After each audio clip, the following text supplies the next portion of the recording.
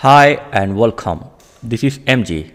In this video, I'll show you how to fix sound control bar not showing in your Android phone. So from the morning, I'm trying hard to uh, use my control bar, but it's not appearing on the screen.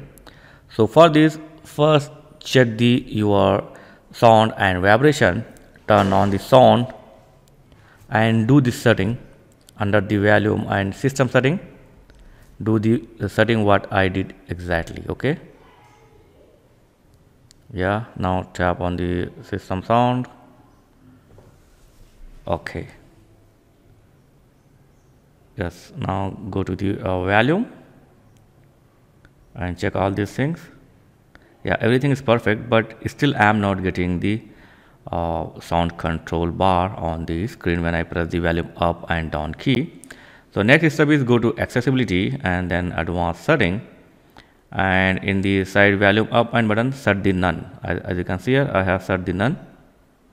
So do it. And default you can choose 10 second or default. So you can select the timeout action default.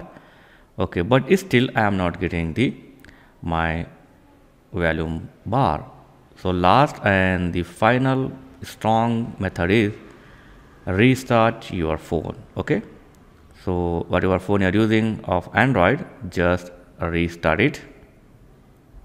Okay just tap on the restart. Yep and after restart let's now try i am pressing the volume up button. Yep now you can see I got my volume control bar back. Yep it's working fine now. Yeah. So whenever you face your volume control bar is not appearing on your screen just restart your phone and the volume bar will get back. So thanks for watching guys. Catch you next video. Uh, please like share and subscribe. Thank you very much